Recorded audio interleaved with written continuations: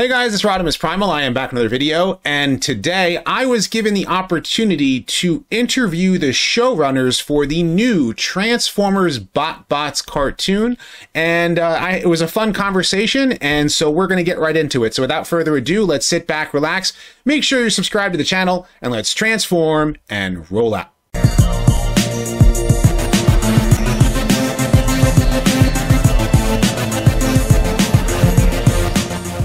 So, so I'm, I'm very thankful to have you guys on. Uh, I have uh, Kevin Burke and uh, Doc Wyatt, who are uh, the showrunners for uh, Transformers BotBots. But you also guys worked on uh, Transformers before, um, and and not many fans, not as many fans know this, but including one of my favorites, Not Crew, Not Crew. Um, yes, get that reference. Yeah, um, that was that was actually hysterical. I love that reference. Um, but how did you guys get involved with the franchise? Were you guys fans before? Did you guys like, you know?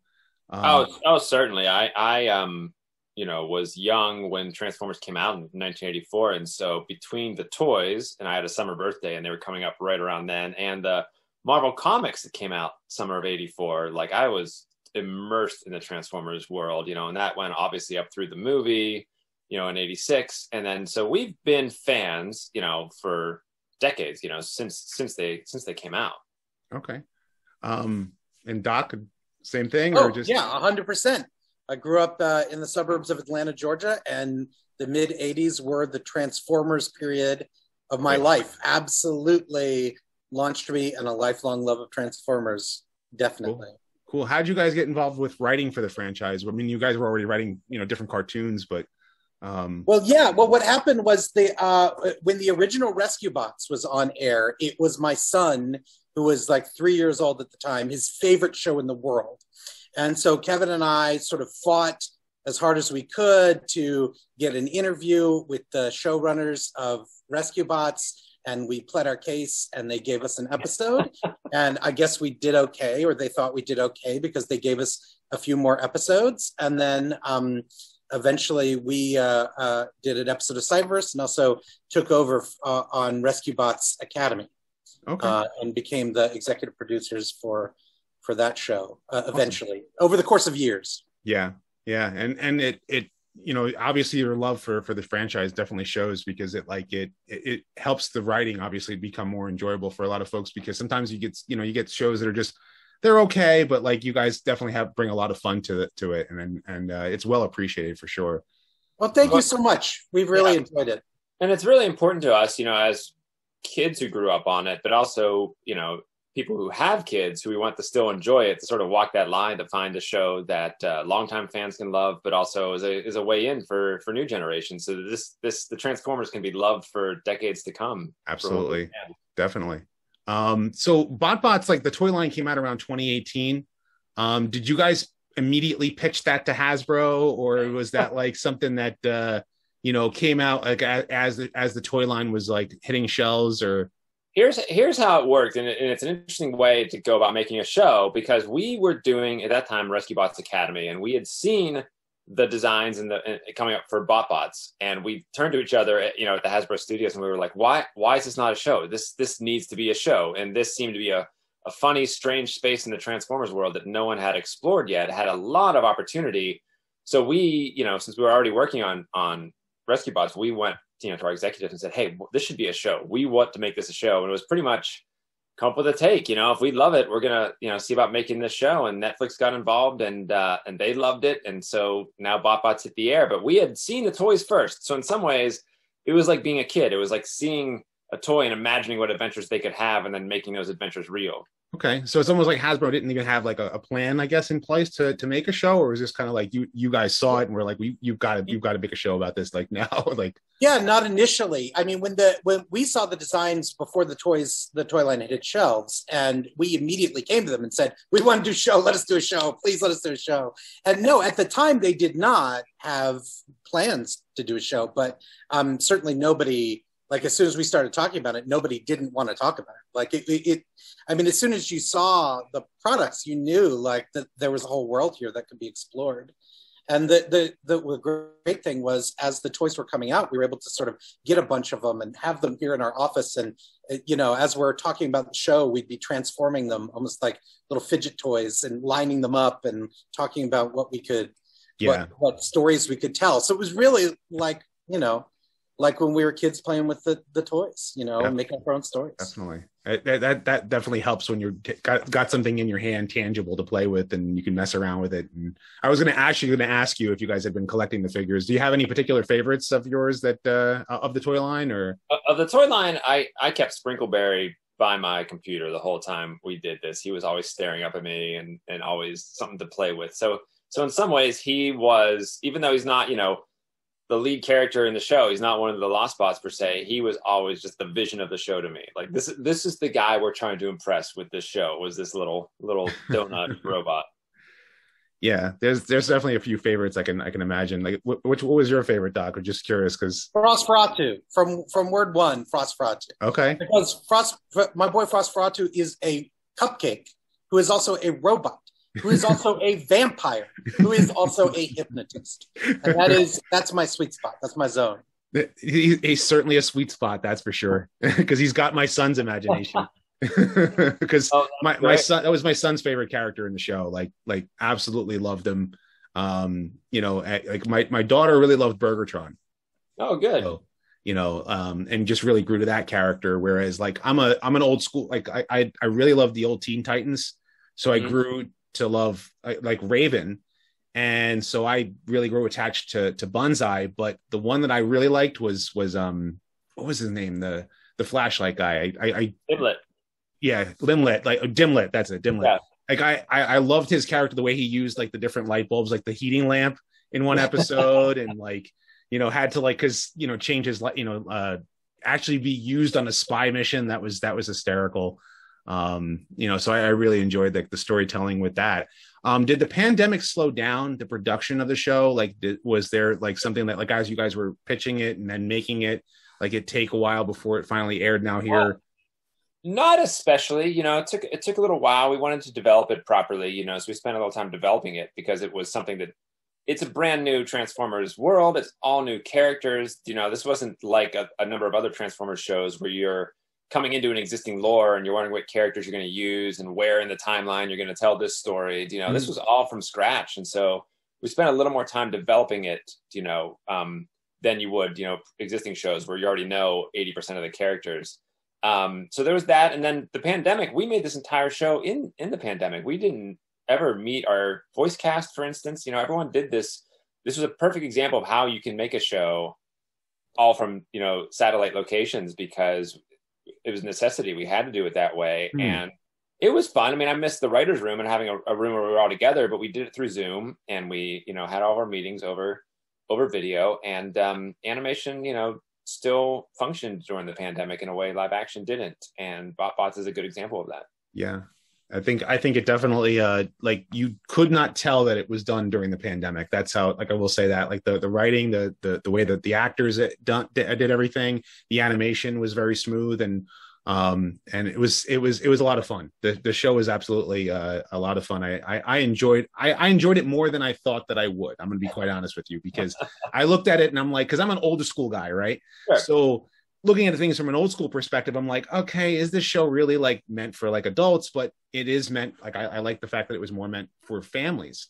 Um, yeah, that's, yeah, good. that's absolutely what we were. We were gearing it towards kids, but we very much designed it to also be a co-viewing experience because we're both dads. We've both sat and watched television with our kids, and some of that television has been a little bit rougher for us to watch because it, it wasn't really for the family; it was just for the very littlest kid. And um, we've had experiences where we sat and watched shows with our kids, and it's been like, I'm loving this as much as the kid is. And that experience, sharing something, sitting and watching and sharing something together, is such a great experience. And that's why that's why we sort of targeted that that co-viewing moment, you know. Yeah, and we're old school fans as well, so we wanted to make a show that allowed completely new fans, people, you know, kids or even adults that may have never heard of the Transformers or never tuned in to be able to, to tune into the first episode and know everything that's going on. But also, if you've been like you, a lifelong fan, you would also be able to appreciate it. It wouldn't negate anything you'd actually learn to love about Transformers. It exists in its own space there. Everything you love about Transformers still remains. You just get this addition. It's this fun, quirky, you know, at times very bizarre little corner of the universe, but uh, something fresh and new in that space. It's like the Sweet Pines Mall, pretty much, or whatever, whatever mall that you that, that you guys are having it take place in. And well, we we've always thought about the mall as a mall near you, a mall that you might have been to at some mm. point. You know, like that's the mall that this is set. Okay. Right.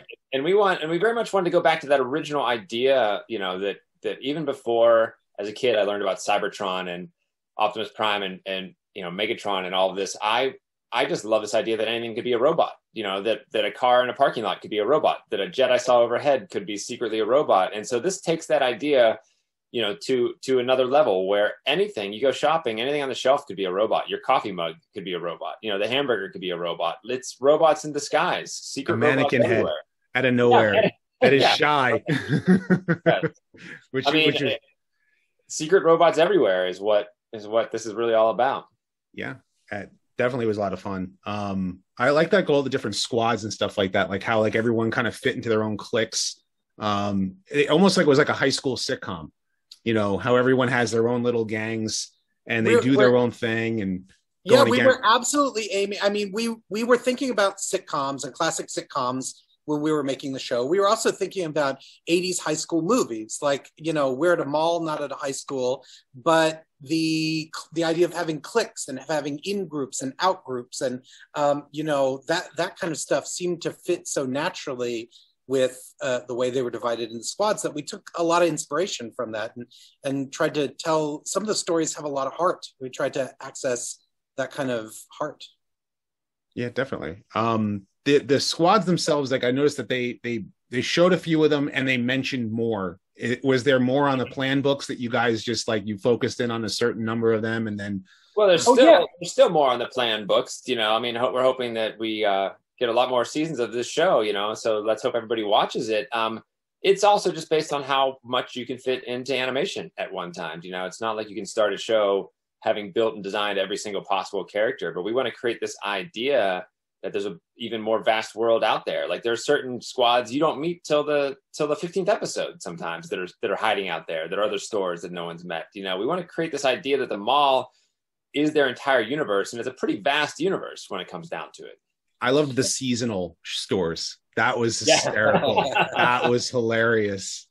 Like you, you guys did the spirit like nothing says my childhood is dead than a spirit Halloween is taking over a Toys R Us. So so true so true that was that was so funny too because then it was like the christmas tree shops and you know that kind of stuff was was was a lot of fun um now I, it was also as interesting was the the storyline itself was told over 10 episodes or 20 episodes really uh in in you know 10 chunks. Um it was an overarching story. Um was that like a conscious decision in the way that you told that story? Because like a lot of the a lot of times you see like you some when you thought when you th- when you think comedy you might be thinking that the show is going to be like just a bunch of sight gags like Looney Tunes. Um, there really isn't much of a plot in a Looney Tunes card. I mean, there is, but there there isn't. But like there was an overarching story over the course of 10 episodes even though each episode could stand alone. Was that like a conscious storytelling decision or? No absolutely. I mean and that's really thanks to our streaming partner at Netflix. Netflix has been a great partner. They've been here since the beginning. Like they uh, were amazing with us. And they because they the way that they drop shows, you know you can always see the first episode. Like sometimes on broadcast television, it's like, well, we have to tell a story that anyone tuning in to any random episode can immediately understand. But with the streaming, we were able to really tell a connected, um, you know, a story that progressed without worrying that the audience was missing episodes. And so, yeah, we were able to kind of lay out this cool serialized story um, and and give real arcs to the characters and that's very much kind of how we like to tell any of our stories is to have an overarching story that there is some growth that people go through some things the characters go through some things in it and it would have been you know a way to do the show would be a bunch of gags and i think people who haven't watched it yet might think that that's what it is you know just a bunch of puns or gags and we wanted and that could have been fun but that would have been like eating a bunch of candy you might watch three or four episodes and be numb to it after a while and we wanted this to mean something you know this is an all ages show. You know, this isn't just for kids to get a bunch of colors or something just fun. We want everybody of all ages to be able to follow these characters and care about what they go through and and to really reach a conclusion that means something that you've invested in.